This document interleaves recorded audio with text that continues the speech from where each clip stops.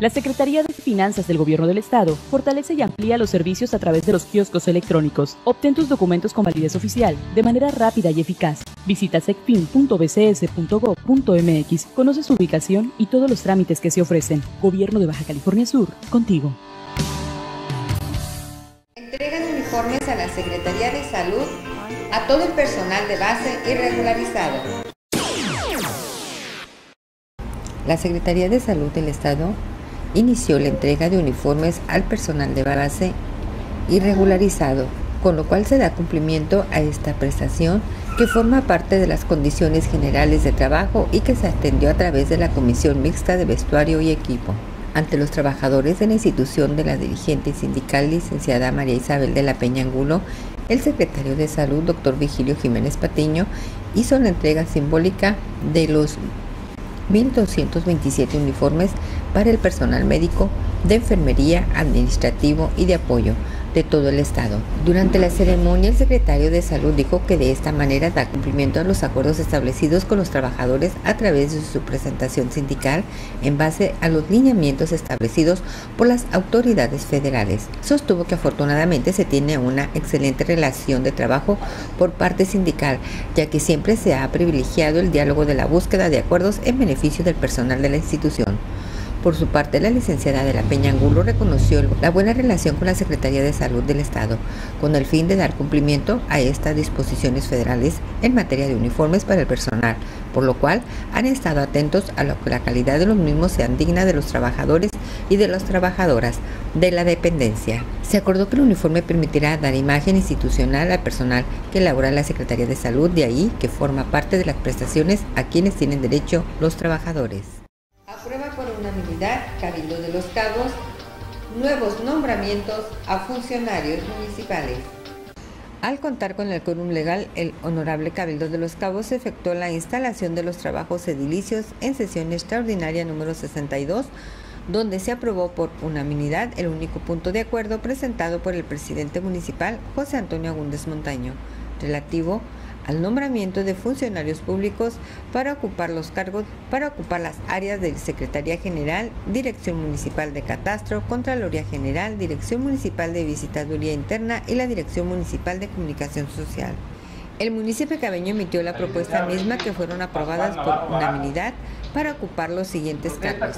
Secretaría General, Enrique Pascual Navarro Barajas, Dirección Municipal de Catastro, Héctor Alejandro Arechiga de Peña, Contraloría General, Alejandro Sánchez Acosta, Dirección Municipal de Visitaduría Interna, Jesús Manuel Cota Espinosa. y la Dirección Municipal de Comunicación Social, Jorge Castañeda Ibáñez desempeñar legal y patrióticamente el cargo de secretario general que se le ha conferido?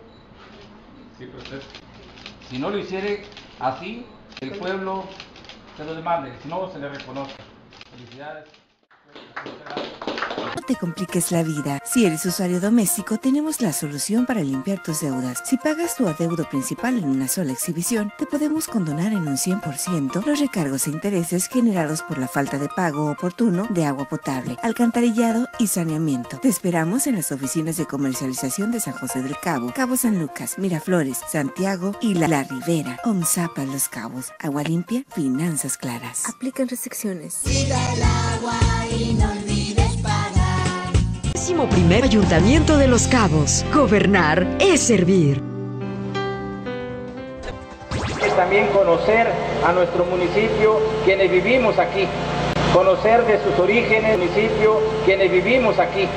Conocer de sus orígenes, sus raíces, su gastronomía, sus recursos naturales, porque eso es importante y es como podemos lograr hacer un gran esfuerzo también para beneficio de todas las familias de nuestro municipio. Sabor a Cabo Rural es un ejemplo de lo que pueden hacer juntos los empresarios de la industria restaurantera y la administración municipal de José Antonio Gúndez Montaño, no solo para promover la comida regional y la comida gourmet, sino para fortalecer la promoción turística de Los Cabos después del paso del huracán Odil y justo cuando ha iniciado la temporada alta de turismo. Es muy, muy bueno. Es muy padre ver este tipo de eventos que están bien organizados, todo súper bonito, respetando lo que es este, pues nuestra tierra. En este evento se ofrecieron a los más de 1.500 asistentes recetas tradicionales entre las que destacan birria, barbacoa blanca, talayotes, cabrito asado, chanfaina, discada, dulces y muchos platillos más como la cerveza artesanal, acompañados de la música del grupo Los Cuñados del Paraje y el ballet municipal Mejiel Tamía. Y el resultado del esfuerzo pues, se duplicó, se duplicó, la gente corrió la voz y yo creo que esa es la mejor publicidad que puede haber para un evento como este. Es una oportunidad, uno, para nuestros visitantes conocer áreas eh, rurales como este bellísimo rancho de Sol de Mayo donde estamos hoy y eh, es una oportunidad para probar los ingredientes locales.